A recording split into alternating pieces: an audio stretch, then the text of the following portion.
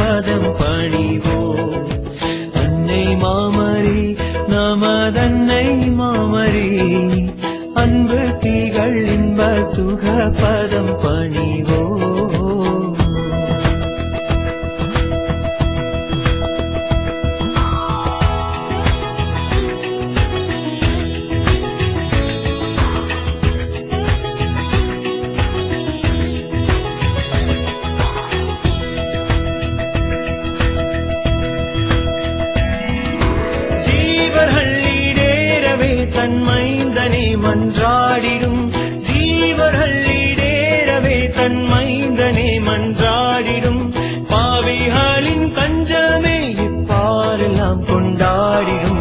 அன்னை மாமரி நாமதன்னை மாமரி. அன்பு தீகள் இன்ப சுக பதம் பணிவோம். அன்னை மாமரி நாமதன்னை மாமரி. அன்பு தீகள் இன்ப சுக பதம் பணிவோ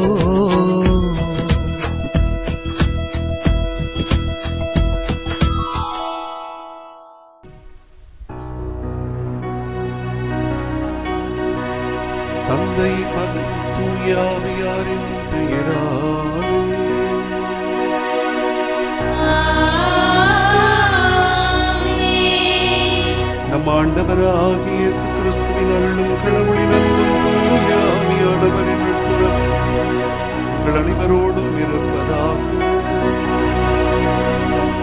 ஆன்மாவோடும் இருப்பதாக. அன்னையின் வழியாக ஆண்டவர் இயேசு கிறிஸ்துவிடம் மிக நெருக்கமாக அன்னைக்குரிய பாசத்தோடு நாம் இந்த திருப்பலியில் பங்கெடுக்க வந்திருக்கிறோம்.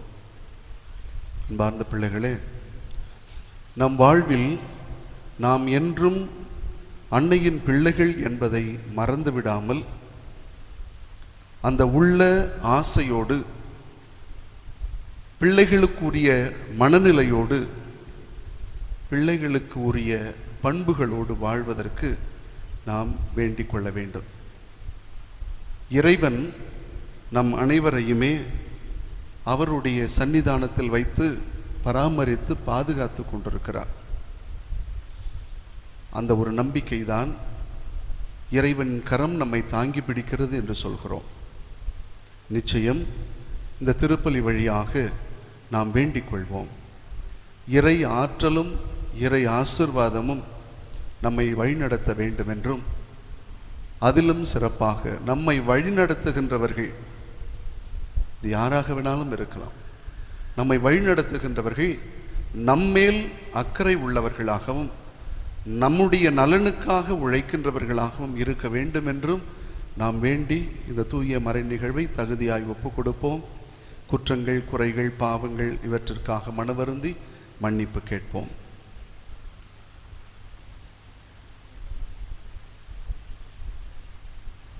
எல்லாம் வல்ல இறைவனிடமும் சகோதர சகோதரிகளை உங்களிடமும் நான் பாவி என ஏற்றுக்கொள்கின்றேன்.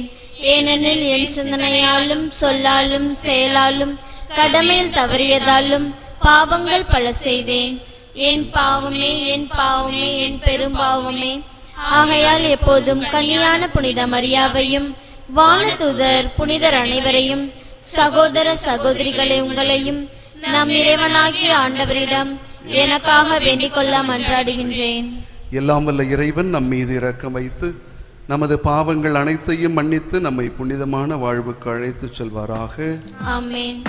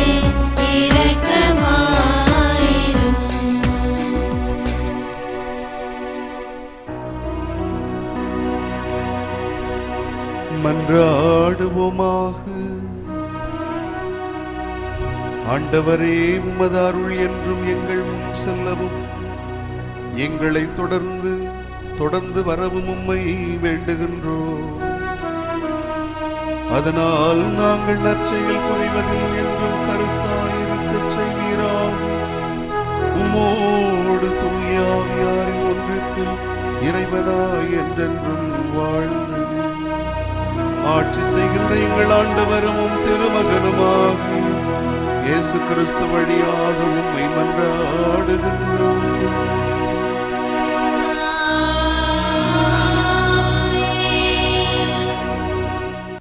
முதல் வாசகம். திருத்தூதர் பவுல் கலாத்தியருக்கு எழுதிய திருமுகத்திலிருந்து வாசகம். இயல் ஐந்து இறை வார்த்தைகள் பதினெட்டிலிருந்து இருபத்தி ஐந்து முடிய சகோதரர் சகோதரிகளே நீங்கள் தூய ஆவியால் வழிநடத்தப்பட்டால் திருச்சட்டத்திற்கு உட்பட்டவர்களாய் இருக்க மாட்டீர்கள். ஊனியல்பின் செயல்கள் யாவருக்கும் தெளிவாய் தெரியும். அவை பரத்தைமை கெட்ட நடத்தை காமவெறி சிலை வழிபாடு பில்லி சூனியம் பகைமை சண்டை சச்சரவு பொறாமை சீற்றம் கட்சி மனப்பான்மை பிரிவினை பிளவு அழுக்காறு குடிவெறி களியாட்டம் முதலியவை ஆகும். இத்தகையவற்றில் ஈடுபடுவோர் இரையாட்சியை உரிமை பேராக அடைவதில்லை என்று நான் ஏற்கனவே சொன்னேன். அதையே இப்போதும் மீண்டும் சொல்கிறேன். ஆனால் தூய ஆவியின் கனியோ அன்பு மகிழ்ச்சி அமைதி பொறுமை பரிவு நன்னயம் நம்பிக்கை கனிவு தன்னடக்கம் என்பவையாகும். இவை உள்ள இடத்தில் திருச்சட்டத்திற்கு இடமில்லை. கிறிஸ்து இயேசுவுக்கு உரியவர்கள் தங்கள் ஊனியல்பை அதன் இழிவு உணர்ச்சிகளோடும் இச்சைகளோடும் சேர்த்து சிலுவையில் அறைந்து விட்டார்கள்.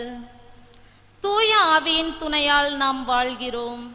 எனவே அந்த ஆவி காட்டும் நெறியிலேயே நடக்க முயலுவோம். ஆண்டவரின் அருள்வாக்கு. இறைவனுக்கு நன்றி. பதிலுரை பாடல் நாம் பாட வேண்டிய பல்லவி ஆண்டவரே உம்மை பின்தொடர்பவர் வாழ்வின் ஒளியை கொண்டிருப்பார்.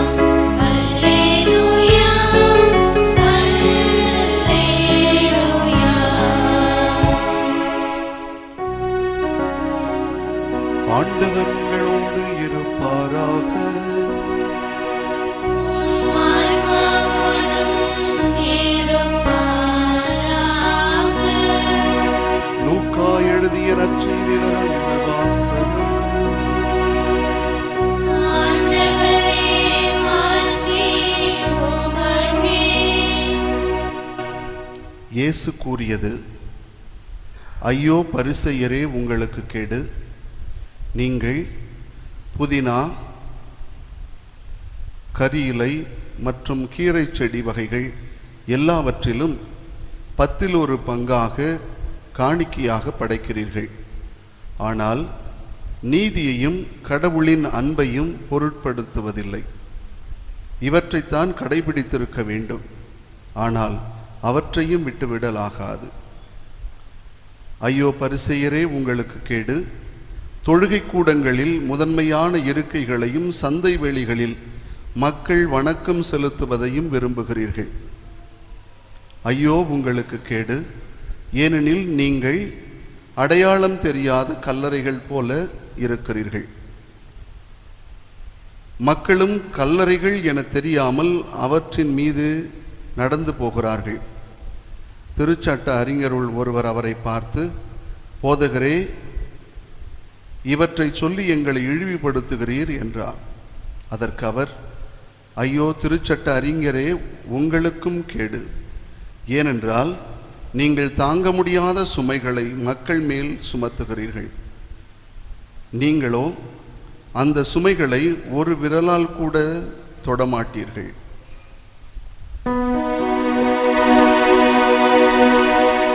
ஆண்டவரின் அருள்வாக்கு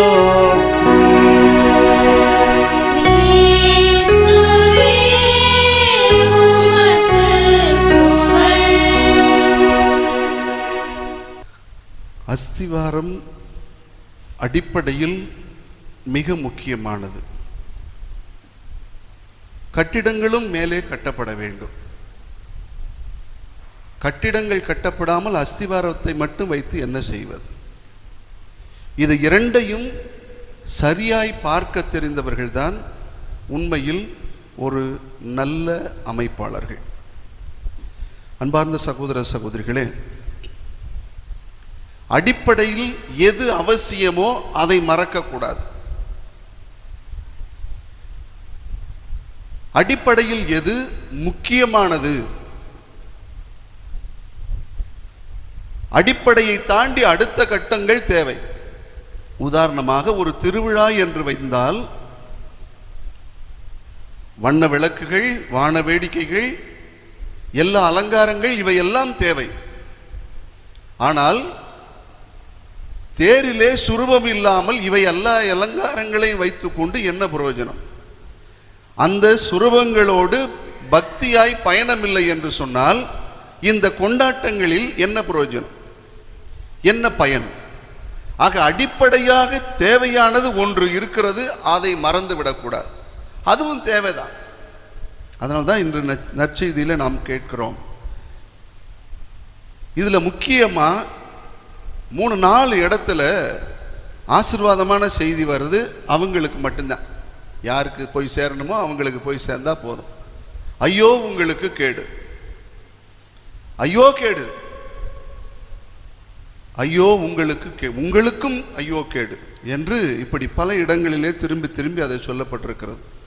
இந்த பிரிவு முழுவதையும் வாசித்தோம் என்றால் தொடக்கத்தில் தலைப்பை எப்படி கொடுத்திருப்பாங்கன்னா பரிசேயர் மறைநூல் அறிஞர்கள் திருச்சட்ட வல்லுனர்கள் இவர்களை ஆண்டவர் இயேசு கண்டிக்கிறார். அவர்களுடைய செயல்பாடுகளும் அவர்களுடைய போதனைகளையும் பார்த்து இயேசு கிறிஸ்து அவர்கள் திட்டுவதை பார்க்கிறோம். ஏனென்றால் அவர்கள் எல்லாம் அப்படித்தான் நடந்து கொண்டிருக்கிறார்கள். அப்படி அதனுடைய தொடர்ச்சியாக அந்த பகுதியில்தான் இன்று வாசிக்கப்பட்ட நற்செய்தியும் வருகிறது.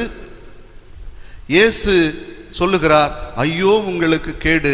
ஏனென்றால் பத்தில் ஒரு பங்கை நீங்கள் காணிக்கையாக செலுத்துகிறீர்கள். இது எல்லா யூதர்களும் தங்கள் வாழ்வில் கடைபிடிக்க வேண்டிய கட்டளை அது. விடுதலை பயண புத்தகத்தில் வாசிக்கிறோம். பத்தில் ஒரு பங்கு ஆண்டவருக்கு காணிக்கையாக கொடுக்க வேண்டும். காணிக்கை கொடுக்கறதுல அதில் நிறைய முக்கியமாக ஏழு விஷயங்கள் அதில் இருக்குதான். ஏழு காணிக்கைகள் கட்டாயம் கொடுத்து விடுவார்கள். அதில் கோதுமை இருக்குது பார்லி இருக்குது திராட்சை இருக்குது ஆலிவ் ஆயில் இருக்குது. இன்னும் இது மாதிரி பல தேன் இது மாதிரி நிறைய விஷயங்கள் இருக்கிறது. அதனாலே இந்த உலகத்தில் இந்த விவசாயத்தில் ஜனித்து வருகிற எதுவும் முதல் காணிக்கையாக ஆண்டவருக்கு கொடுக்கிற பத்தில் ஒரு பங்கு கொடுக்கிற காணிக்கை. இன்னைக்கு பிரிவினை சகோதரர்கள் எல்லாத்தையும் விட்டுட்டாங்க. இந்த பத்தில் ஒன்று கொடுக்கணுங்கிறத மட்டும் மறக்கவே மாட்றாங்க. ராத்திரி தூங்கிட்டு இருக்கிறப்ப எழுப்பி ஒரு பாஸ்டர் டபடபன்னு தூங்குறதுல எழுந்தாருன்னா பத்தில் ஒரு பங்கு கொடுக்கணும் பத்தில் ஒரு பங்கு கொடுக்கணும் தான் போதனையே வருதான் அப்படின்னு ஒருத்தர் சொன்னது. அதனால் இந்த ஒரு பத்தில் ஒரு பங்கு நீங்கள் காணிக்கை கொடுக்கிறீர்கள். நல்லது இல்லைன்னு சொல்லலை. ஆனால் இது ஒரு பக்கம் இருக்குது இதை தாண்டி இன்னொன்று முக்கியமானது இருக்கிறது. அதை மறந்துடாதீங்க. கோயிலுக்கு கொடுக்க வேண்டியது இருக்குது லேவியருக்கு கொடுக்கறது இருக்கிறது ஆலய பராமரிப்புக்கு கொடுக்கறது இருக்குது. இவையெல்லாம் இருக்கிறது. இதுக்கு மேலே ஒன்று முக்கியமாக இருக்கிறது. அது நீதியும் கடவுள் அன்பும் இருக்கிறது. அதை மறந்துட்டீங்களேங்கிறார். இதுதான் முதன்மையானது அடிப்படையானது. இதுக்கு மேலதான் அது. அதையும் நீங்க மறக்காதீங்க. செய்யுங்க அப்படின்னு சொல்கிறார் அடிப்படையில் நீதியும் கடவுளுடைய அன்பும் அஸ்திவாரமாக இருக்கிறது. நிறைய பேர் இதை மறந்துட்டு மேல் கட்டடத்தை மட்டும் கட்டிக்கிட்டே இருக்கணும். அடிப்படை அஸ்திவாரம் இது. ஒரு கட்டிடத்திற்கு அஸ்திவாரம் நன்றாக இருக்கணும். மேலே மட்டுமே வெளியில் மட்டுமே பார்த்துட்டு இருக்கிறதுல பிரயோஜனம் இல்லை. அதனால தான் இன்னொரு உதாரணம் உதாரணம் கொடுக்கும்போது சொல்லுவாங்க பாத்திரத்தின் உள்பகுதியை நீங்கள் சுத்தமாக வைத்திருங்கள். வெளிப்புறத்தை மட்டுமே பார்த்துட்டு இருக்கிறீங்களே அப்படின்னு சொல்லி. அதுபோல் அடுத்ததாக அவர் சொல்லுகிறது தொழுகை கூட தலைவர்களுக்கு சொல்வார் நீங்கள் முதன்மையான இருக்கைகளை விரும்புகிறீர்கள். ஆனால் நீங்கள் தெரியாத கல்லறைகள். அது மேலே மக்கள் என்ன பண்ணுறாங்கன்னா ஏறி நடந்து போகிறாங்கங்கிற இன்னொன்று ஏன் அந்த கல்லறைகளை சொல்வார்? இன்னொரு இடத்துல சொல்வார் நீங்கள் வெள்ளையடிக்கப்பட்ட கல்லறைகள் என்பார். யூதர்களுடைய பாரம்பரியத்தில் கல்லறைகள் மேல் தங்கள் நிழல் படக்கூடாது. ஒரு யூதன் கல்லறைக்கு மேலேயே தன்னுடைய நிழல் படாதவாறு அவன் ஒதுக்குப்புறமாக ஒதுங்கி தான் செல்வான். ஏன்னா கல்லறைகள் எல்லாம் தனியாக இருக்கும். அது தெரிய வேண்டும் என்பதற்காகவே கல்லறைக்கு வெள்ளை அடித்து வைப்பார்களாம். அதனால் யாரும் அது மேல் அது அந்த நிழலே படாமல் போயிடணும். இந்த நேரத்தில் என்ன சொல்கிறாரு நீங்கள் கல்லறைகள் என்பது தெரியாமல் அதன் மேல் நடந்து செல்கிறார்கள் என்று. இதுக்கு சப்போர்ட் கேட்க வந்தார் ஒருத்தர் வந்தார். திருச்சட்ட அறிஞர். பேசாமல் இருந்திருக்கலாம் சொந்த செலவில் சூனியம் வச்சுக்கிறது. வாயிலே வெ- வச்சுருப்பாங்க வென இல்லையா? அது மாதிரி. அவர் போய் எங்களை இழிவுபடுத்துறதுக்காக இப்படி பேசுகிறீரே அப்படின்னா அவர் உடனே அடுத்த செகண்டே சொல்கிறாரு உங்களுக்கும் ஐயோ கெடுனார் விட்டு வைக்கல. உங்களுக்கும் ஐயோ கெடு. ஏன்? நீங்கள் பெரும் பெரும் கட்டளைகளை சட்டங்களை போட்டு அதை மக்கள் மேல் சுமத்துகிறீர்கள். நீங்களால் உங்களால் விரலால் கூட அசைக்க மாட்டீங்க. உங்களுக்கு அது உங்களுக்கு கூட பெரிய தெரிய மாட்டேங்குது. அது பெரிய சுமையாக மக்களுக்கு போய் சேர்கிறது என்று சொல்லி அது அவர்களுக்கும் ஐயோ கேடு என்று சொல்கிறான் இந்த விஷயத்தில் நாம் கொஞ்சம் யோசிச்சு பார்க்கணும். இன்னைக்கு யோசிச்சு பாருங்க. எத்தனை புது புது சட்டங்களை போட்டு மக்கள் மீது இன்று திணிக்கப்படுகிறது தெரியுமா? இதில் ஒரு முக்கியமான செய்தி. எல்லாரும் தெரிஞ்சு வச்சுக்கிறதுக்காக சொல்கிறேன் இன்னைக்கு இவ்வளவு சட்டங்கள் போட்டு நமக்கு கொடுக்குறாங்களே அந்த சட்டங்கள்லாம் யாருக்கு? சாதாரண நம்மை போன்ற மக்களுக்கு தான் வருகிறது. அப்படின்னா அத்தனை சட்டங்களும் நமக்கு தெரியுமா? இப்போ ஒரு சட்டம் போட்டு ஏற்றி நமக்கு கொடுக்குறாங்கன்னு சொன்னால் அந்த சட்டமும் அதனுடைய விளைவுகளும் அதனுடைய நன்மைகளும் நமக்கு தெரியுமா? நம்ம தெரிஞ்சு வச்சிருக்கிறோமா? அதை தெரிஞ்சு வச்சுக்காம இருந்துட்டு நாம் என்ன செய்கிறோம் அதை பற்றி அறியாமையிலேயே வாழ்ந்து விட்டு நாம் பெருசாக நம்மளை அழிக்கிறாங்க அப்படின்னு நினைக்கிறோம். ஒரு சட்டம் இயற்றும் பொழுது அதில் இருக்கிறவர்கள் பார்க்கணும். அதனுடைய சாதக பாதக நன்மைகள் தீமைகள் எது என்பதை தெரிந்து அப்புறம் கொடுக்கணும். அதனால் தங்களுக்கா அல்லது மக்களுக்கா சாதாரண மக்களுக்கு பயனுள்ளதாக இருக்கிறதா என்பதை யோசிக்க வேண்டும். இதெல்லாம் யோசிக்காம உடனே திடுதிப்புன்னு. அப்படியே ஒன்று கூட வேண்டியது. ஏதாவது ஒரு சட்டம் கொண்டு வர வேண்டியது. அதை அப்படியே மக்கள்கிட்ட கொண்டாந்து விட்டுற வேண்டியது. யாராவது எதிர்ப்பும் சொல்ல முடியாது வேற. எதிர்த்து சொன்னாங்கன்னா அதுக்கு வேற பின்விளைவுகள் வேற நிறையா இருக்குது. அதனால் இப்படி சட்டங்கள் இயற்றி மக்களுக்கு கொடுக்கிறவர்கள் கொஞ்சம் கவனமாக இருக்க வேண்டும். அதனால தான் சொன்னார் நீங்கள் எல்லாம் படித்து திருச்சட்டத்தை நன்கு அறிந்து வைத்திருக்கிறீர்கள். ஆனால் நீங்கள் போடுகிற சட்டங்கள் மக்களுக்கு பெரிய சுமையை தூக்கி வைக்கிற மாதிரி இருக்கு.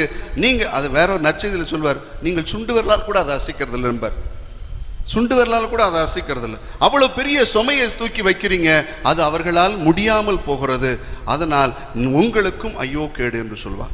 ஆக பரிசெயர்களுக்கும் ஐயோ கேடு மறைநூல் அறிஞர்களுக்கும் ஐயோ கேடு திருச்சட்ட அறிஞர்களுக்கும் ஐயோ கேடு.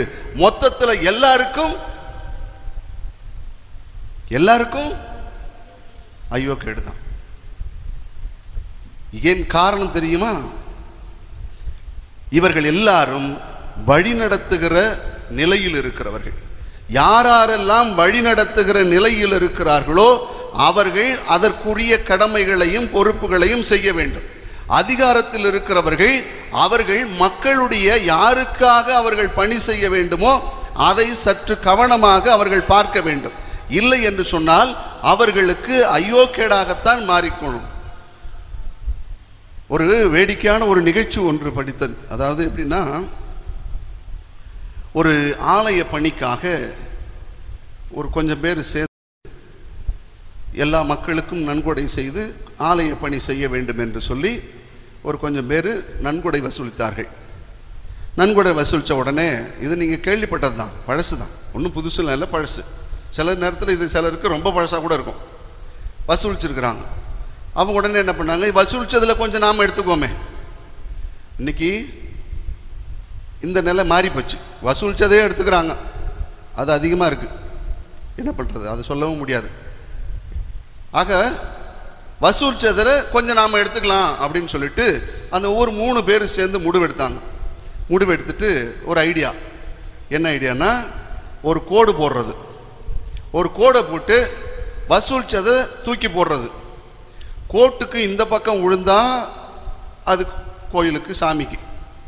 அந்த பக்கம் விழுந்தா அது நமக்கு. உடனே இதை சொ- ஒருத்தன் சொன்ன உடனே இன்னொருத்தன் சொன்னான் என்னடா மூளைக்கட்டவனாக இருக்கிற? அந்த மாதிரி ஐடியா வேணாம். வேற ஒரு ஐடியா சொல்கிறேன் ஒரு ரவுண்டு போடுவோம். அந்த ரவுண்டு போட்டு தூக்கி போடுவோம். எது எதெல்லாம் உள்ளே விழுந்ததோ அதெல்லாம் கடவுளுக்கு கோ- சாமிக்கு. வெளியில் விழுந்ததெல்லாம் நமக்குன்னா. அப்போ மூணாவதாக சொன்னோம் சொன்னால் உனக்கு சுத்தமாக மூளை இல்லை. வேற ஐடியா பண்ணு. அதாவது எல்லாத்தையும் தூக்கி மேலே போடு. கடவுள் மேலே இருக்காரு. அதனால் தூக்கி மேலே போடு. மேலே நின்றுக்குச்சுன்னா அது கடவுளுக்கு. கீழே விழுந்துச்சுன்னா அது நமக்குன்னா. இன்னைக்கு அந்த மாதிரி. இப்போ வேற ஒரு அதுக்கு இதை சொல்லி முடித்த உடனே இன்னொரு பையன் சொன்னான். அதெல்லாம் எதுக்குடா? கடவுளே நமக்குடா. கடவுளே நம்ம பக்கமாக இருக்கிறார் நம்ம கூட தான் இருக்கார். அதனால எல்லாமே நமக்கு தாண்டான்டான் அதாவது இன்று எல்லாம் எப்படி வழிநடத்துகிற தலைமை பொறுப்பில் இருக்கிற பொறுப்பாளர்கள் அதிகாரத்தில் இருக்கிறவர்கள் எல்லாரும் எப்படிப்பட்டவர்களாய் இருக்கிறார்கள் என்பதற்காக சொல்கிறேன். அன்று இஸ்ரேல் மக்கள் சரியான வழிநடத்துதல் இல்லாத பொழுது இறைவாக்கினரை தேடினார்கள். ஒரு நல்ல இறைவாக்கினர் நம்மை வழிநடத்த மாட்டாரா என்று. இயேசு வாழ்ந்த பொழுது அதன் வழியாக வந்த அந்த பரிசெயர்கள் மறைநூல் அறிஞர்கள் திருச்சட்ட அறிஞர்கள் எல்லாம் என்னவென்றால் மக்கள் மீது மக்கள் நலனை பற்றி கவலைப்படாமல் எல்லாவற்றையும் தனக்காகவும் தன் மடிக்காகவும் பார்த்து கொண்டிருந்தார்கள். இதை பார்த்த இயேசு கிறிஸ்து தான் எல்லாத்தையும் சொல்லி சொல்லி பார்க்குறாரு. கடைசியில் சொல்லுவதனுடைய உச்சக்கட்டம் தான் ஐயோ கேடு என்று அவர்களுக்கு சொல்லுகின்றார். பாரதி ஒரு முறை சொன்னார் படித்தவன் சூது வாதும் செய்தால் போவான் போவான் ஐயோ போவான்னார். ஒரு படிச்சவங்க அதிகாரத்தில் ஒரு பொறுப்பில் இருக்கிறவங்க சூதுவாது பண்ணி இந்த உலகத்தில் வாழ்ந்து தவறான வழிநடத்தல் கொடுத்து கொண்டிருந்தால் அவர்கள் போவார்கள் போவார்கள் ஐயோடு போவார்களாம். வரலாறு நிறைய இருக்கிறது. வேண்டால் வா- பாருங்கள் எத்தனை பேர் அப்படி வாழ்ந்தார்களோ அவர்களெல்லாம் முடிவு எப்படி போயிருக்கிறது என்றால் ஐயோ கேடு என்று தான் போயிருக்கிறது. அப்படித்தான் வாழ்ந்து மறித்து இருக்கிறார்கள். யாருமே எடுத்துக்கொள்ளுங்களேன் பெரிய பெரிய நிலையில் இருக்கிறவர்கள் பெரிய பெரிய அளவில் வாழ்ந்தவர்கள் தவறான வழியில் வழிகாட்டுதலே வாழ்ந்தவர்கள் எல்லாம் அப்படி ஐயோ என்று தான் போயிருக்கிறார்களே ஒழிய வேறு யாரும் சாதாரணமாக இறந்து போகவில்லை. ஆக ஆண்டவர் பிள்ளைகள் எல்லாருமே இதை கொஞ்சம் யோசித்து பார்க்கணும். காரணம் என்னன்னா நமக்கு எது அடிப்படையான தேவை என்று யோசித்து பாருங்கள். அடிப்படை தேவை எது? ஆண்டவருக்கு உரிய காரியங்களையும் நீதியையும் அன்பையும் இரக்கத்தையும் நம்முடைய வாழ்விலே நாம் கடைபிடிச்சிட்டு வரணும். இதுதான் ஃபஸ்ட்டு இதுதான் அடிப்படை.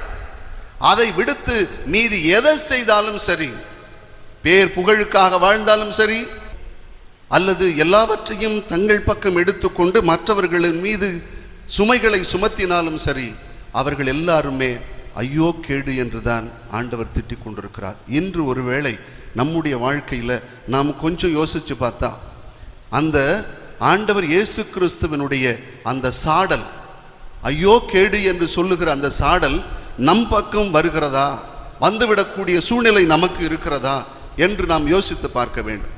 அப்படி ஒரு சூழ்நிலை நமக்கு வருதுன்னு சொன்னா நாம் கொஞ்சம் எச்சரிக்கையாகவே இருந்து கொள்வோம். ஏனென்றால் ஆண்டவருக்கு அடிப்படையானது எதுவோ அதுதான் பிடிக்கும். வெறும் ஆடம்பரம் என்று மட்டும் அவருக்கு பிடிப்பதில்லை.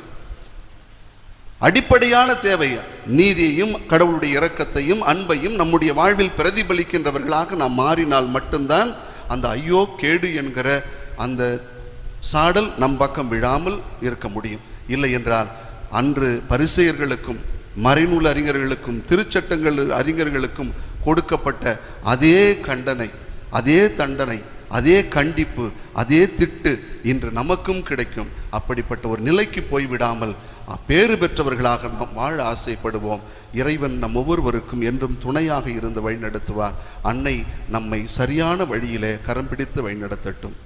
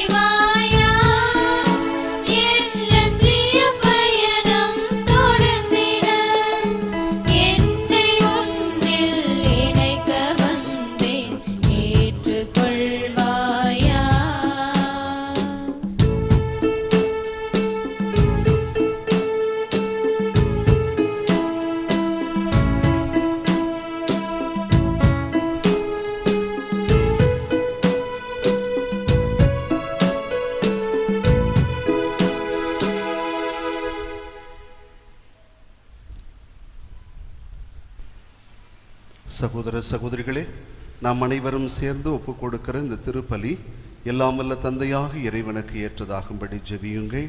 ஆண்டவர் தமது பெயரின் புகழ்ச்சிக்காகவும் மாட்சிக்காகவும் நமது நன்மைக்காகவும் புனித திரு அவை அனைத்து நலனுக்காகவும் மது கையிலிருந்து இப்படியை ஏற்றுக்கொள்வாராக. ஆண்டவரே நாங்கள் ஒப்பு கொடுக்கும் இப்பலியின் காணிக்கைகளோடு நம்பிக்கையாளரின் வேண்டுதல்களையும் ஏற்றருளும். இவ்வாறு இறைப்பற்றோடு நாங்கள் ஆற்றும் இப்பணியால் விண்ணகம் ஆட்சிக்கு கடந்து செல்வோமாக. எங்கள் ஆண்டவராகி கிறிஸ்து வழியாக உண்மை மன்றாடுகின்றோம்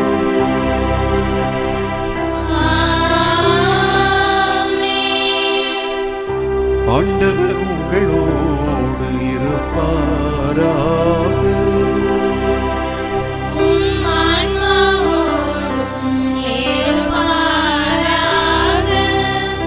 இதயங்களை மேலே எழுப்புங்கள்.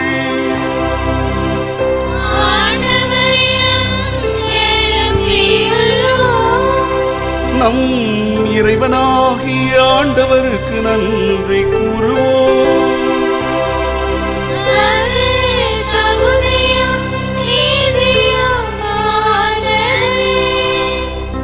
ஆண்டவரே தூயவரான தந்தையே என்றும் உள்ள எல்லாம் அல்ல இறைவா. என்னாலும் எவ்விடத்திலும் நாங்கள் உமக்கு நன்றி செலுத்துவது. மெய்யாகவே தகுதியும் நீதியுமாகும்.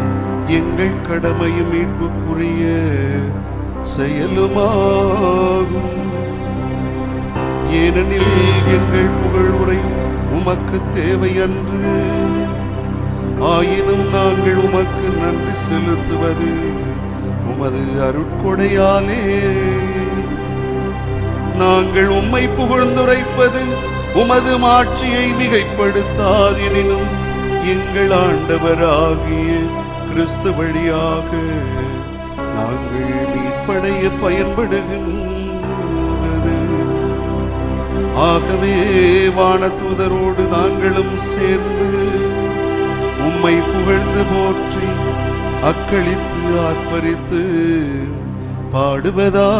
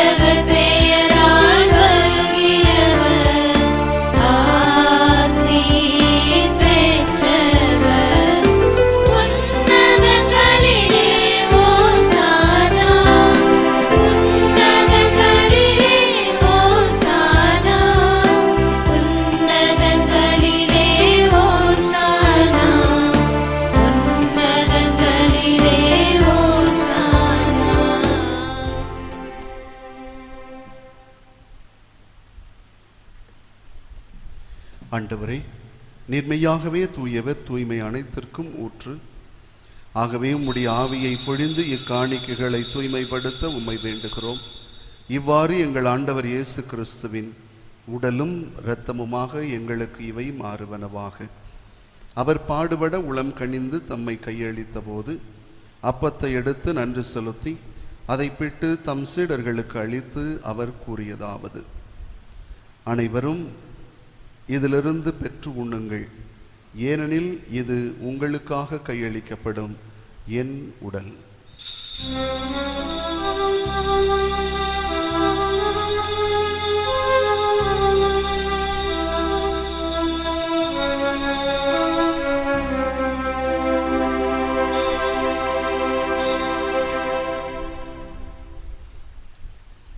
அவ்வண்ணமே இரவு விருந்தை அருந்திய பின் கிண்ணத்தையும் எடுத்து மீண்டும் உமக்கு நன்றி கூறி தம் சீடர்களுக்கு அளித்து அவர் கூறியதாவது. அனைவரும் இதிலிருந்து பெற்று பருகுங்கள். ஏனெனில் இது புதிய நிலையான உடன்படிக்கைக்குரிய என் இரத்தத்தின் கிண்ணம். இது பாவ மன்னிப்புக்கென்று உங்களுக்காகவும் பலருக்காகவும் சிந்தப்படும். இதை என் நினைவாக செய்யுங்கள்.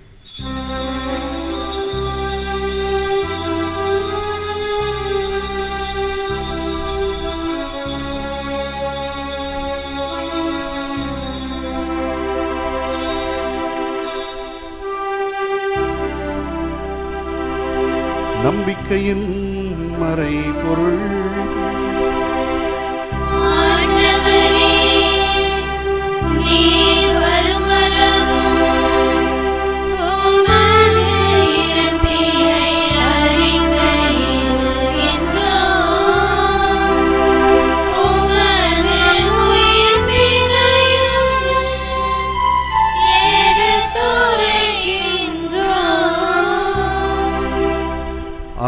ஆண்டவரை நாங்கள் கிறிஸ்துவின் இறப்பினையும் உயிர்ப்பினையும் நினைவு கூர்ந்து வாழ்வு தரும் அப்பத்தையும் மீட்பளிக்கும் கிண்ணத்தையும் உமக்கு ஒப்பு கொடுக்கின்றோம்.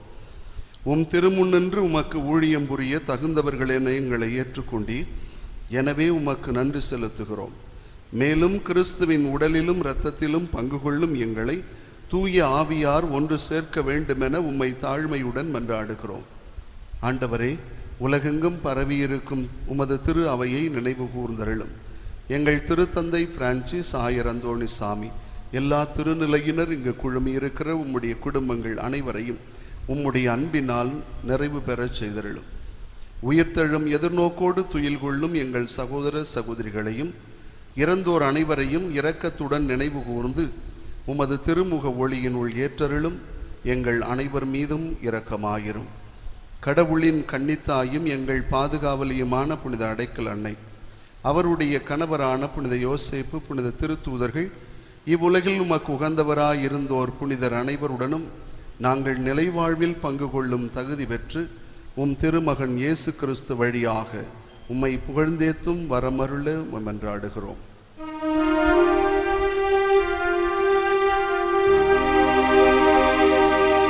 இவர் வழியாக இவரோடு இவரும். எல்லாம்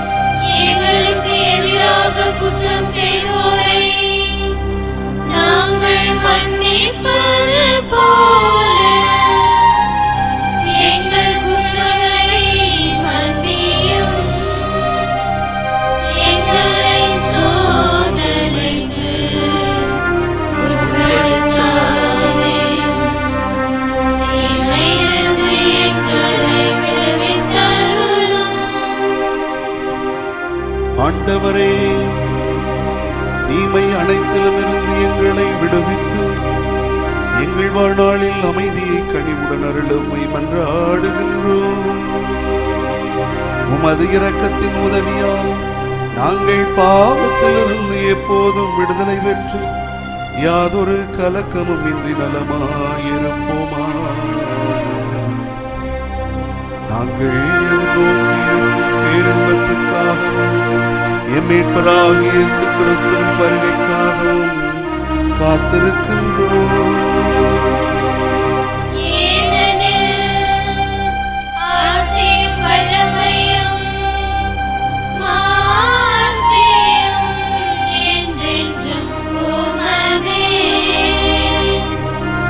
ஆண்டவரே இயேசு கிறிஸ்துவே அமைதியை உங்களுக்கு விட்டுச் சொல்கிறேன் என் அமைதியையே உங்களுக்கு அளிக்கிறேன் என்றும் திருத்தூதர்களுக்கு மொழிந்தீரே. எங்கள் பாவங்களை பாராமல் உமது திரு அவையின் நம்பிக்கையே கண்ணோக்கி உமது திருவுளத்திற்கு ஏற்பதற்கு அமைதியையும் ஒற்றுமை வாழ்ந்து ஆட்சி செய்கின்றவர் நீரே.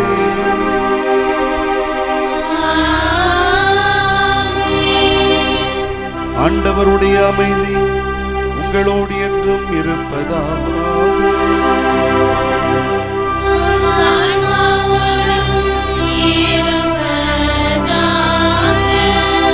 ஒருவருக்கொருவர் நம் ஆண்டவர் இயேசுவின் அமைதியை பகிர்ந்து கொள்வோம். உலகின் பாவங்களை போக்கும் இறைவனின் சமரியே எங்கள் மேல் இரக்கமாயிரும். உலகின் பாவங்களை போக்கும் இறைவனின் சமரியே எங்கள் மேல் இரக்கமாயிரும். உலகின் பாவங்களை போக்கும் இறைவனின் சமரியே எங்களுக்கு அமைதியை தருளும் கிறிஸ்துவே நாங்கள் உட்கொள்ளும் உம்முடைய திருவுடலும் இரத்தமும் எங்களை நீதி தீர்ப்புக்கும் தண்டனைக்கும் உள்ளாக்காமல் உமது பரிவிறக்கத்தினால் எங்கள் உள்ளத்தையும் உடலையும் காத்திடும் அருமருந்தாகிட அருள் புரியும் இதோ நம் ஆண்டவராகிய இயேசு கிறிஸ்து. இவரே நமது பாவங்கள் அனைத்தையும் போக்குகின்ற செம்மறியானவர். இந்த செம்மறியின் விருந்திற்கு அழைக்கப் பெற்றிருக்கிற நாம் அனைவரும் பேறு பெற்றவர்கள். ஆண்டவரே நீர் என் இல்லத்தில் எழுந்தருள நான் தகுதியற்றவள். ஆனால் ஒரு வார்த்தை மட்டும் சொல்லியருளும் எனது ஆன்மா நலமடையும். கிறிஸ்துவின் திருவுடலும் இரத்தமும் நம் அனைவரையும் காத்து நிலை வாழ்வுக்கு அழைத்துச் செல்வாராக.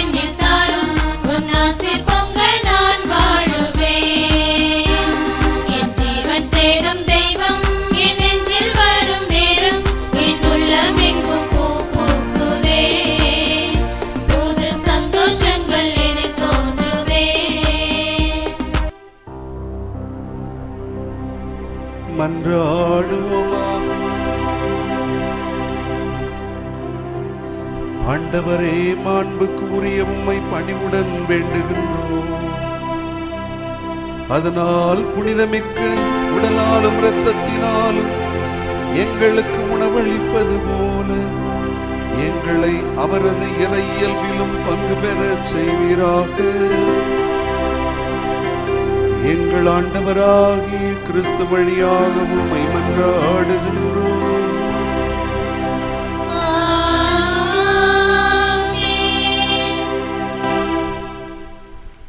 அன்பார்ந்த சகோதர சகோதரிகளே நம்முடைய திருத்தலத்தில் தினந்தோறும் காலை ஆறரை மணிக்கும் பதினொன்றரை மணிக்கும் திருப்பலிகள் நடைபெற்று கொண்டிருக்கிறது. மாதத்தின் முதல் சனிக்கிழமை காலை பதினோரு மணிக்கு அன்னையினுடைய சிறுதேர் பவனியும் அதைத் தொடர்ந்து திருப்பலியும் இருக்கும். திருப்பலி முடிவில் மாதா குலத்தின் அருமருந்தினால் அவர்களை தனிப்பட்ட முறையில் சிறப்பு ஆசிர்வாதத்தினால் அவர்களுக்காக ஜெபிக்கிறோம். இரண்டாவது சனிக்கிழமை காலை ஒன்பதரையிலிருந்து ஒன்றரை மணி வரை நற்செய்தி ஜெபக்கூட்டம் நோயாளிகளுக்கான சிறப்பு ஜெபம் நற்கருணை ஆசிர்வாதம் இருக்கிறது. இறுதியில் அனைவருக்கும் அன்னதானம் வழங்கப்படுகிறது. அன்னதானத்திற்கு தங்களால் இயன்ற உதவி செய்ய விரும்புகிறவர்கள் பங்கு தந்தையின் அலுவலகம் அணுகி உதவி செய்ய உங்களை அன்போடு கேட்டுக்கொள்கிறோம். அன்னதான காணிக்கையாளர்களுக்காக அன்றைய நற்கருணை ஆராதனையில் சிறப்பு ஜெபமும் ஏறெடுக்கப்படுகிறது. ஒவ்வொரு வாரம் புதன்கிழமை மதியம் ஒரு மணிக்கு மாதா டிவியில் லூர்து டிவி வழியாக நம்முடைய திருத்தலத்தில் நடைபெறுகிற திருப்பலி ஒளிபரப்பாகிறது. அதை பார்த்து ஜெபிக்கவும் அதற்காக நீங்கள் காணிக்கை செலுத்தவும் உங்களை அன்போடு அழைக்கின்றோம்.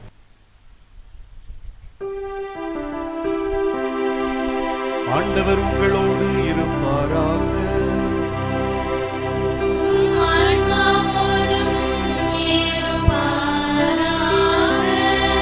எல்லாம் வல்ல இறைவன் தந்தை மகன் தூய அடைக்கல அன்னை வழியாக உங்கள் அனைவரையும் ஆசீர்வதிப்பாராக.